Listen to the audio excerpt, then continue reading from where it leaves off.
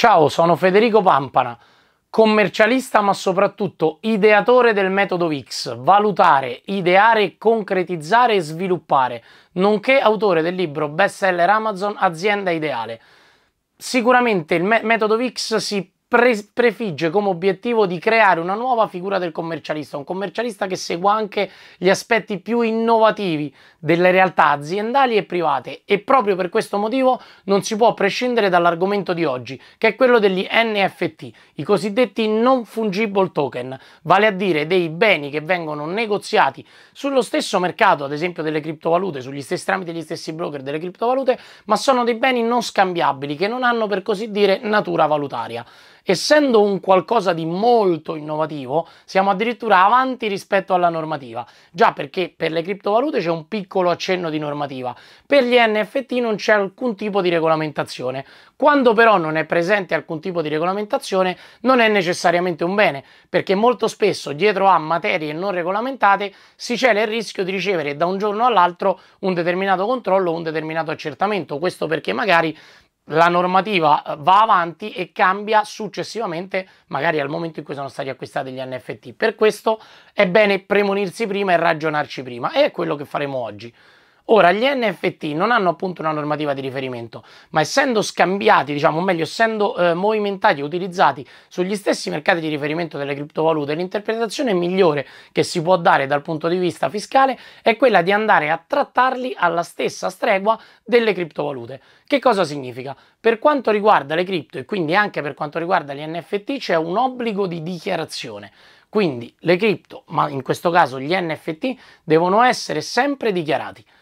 perché sono assimilati andando a fare riferimento come interpretazione alla normativa cripto, queste sono assimilate ad attività finanziarie estere e allo stesso modo dobbiamo trattare anche gli NFT come attività finanziarie detenute in valuta estera. Il valore quindi degli NFT deve essere riportato all'interno del quadro RW della nostra dichiarazione dei redditi, che deve essere presentata entro il 31 ottobre dell'anno successivo rispetto a quello di riferimento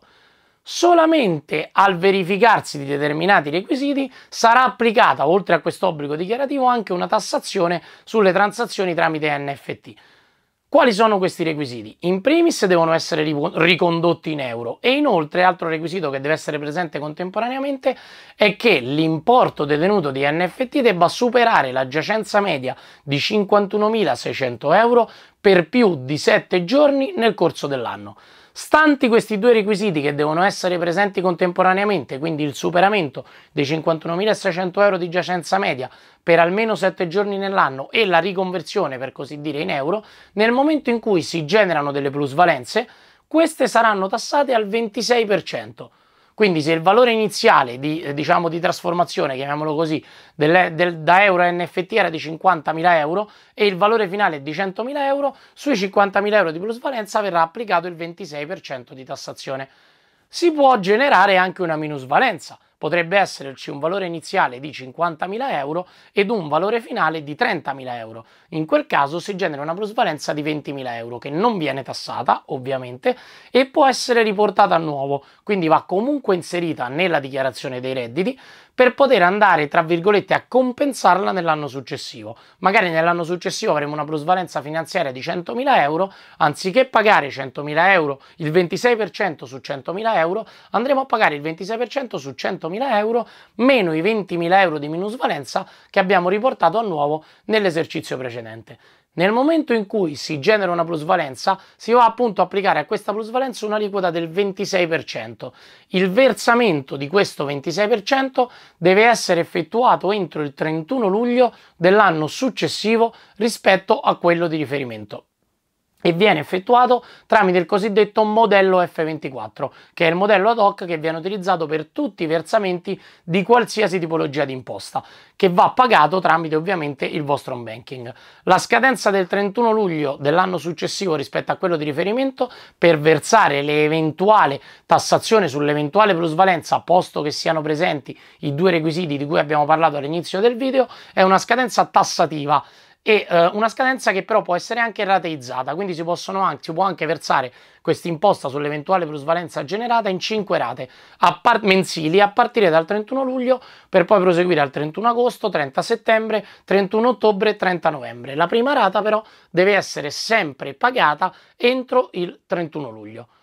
Ora, nel momento in cui per qualsiasi motivo non si riesca a pagare né in unica soluzione né in maniera rateizzata entro il 31 luglio, niente paura perché esiste il cosiddetto istituto del ravvedimento operoso, vale a dire un'autodeterminazione dell'imposta omessa con l'applicazione di una piccola sanzione che non supera mai il 3%. Quindi se ci dimentichiamo o non riusciamo a pagare l'imposta derivante dalla plusvalenza eh, eventualmente verificatasi dalle, dalle, nostre movimentazioni di NFT, se non riusciamo a pagarla entro la scadenza prevista dalla normativa, niente paura, perché anche se ce ne accorgiamo 2, 3, 4, 5, 6, 7 mesi dopo, l'importante è rendersene conto prima che arrivi l'avviso da parte dell'Agenzia delle Entrate, perché se ce ne rendiamo conto prima dell'avviso possiamo pagare con ravvedimento operoso e sanare l'omissione con una sanzione del 3%. Qualora invece faccia prima l'amministrazione finanziaria a rendersene conto rispetto a noi, in quel caso ci arriverà un avviso bonario dove la tassazione, la, la sanzione salirà al 10%. La tematica è sicuramente complessa, ovviamente per qualsiasi dubbio puoi anche scrivermi nei commenti e per approfondire il tutto vai su metodovix.com e prenota una consulenza specifica dove entreremo nel dettaglio delle eventuali tue singole problematiche.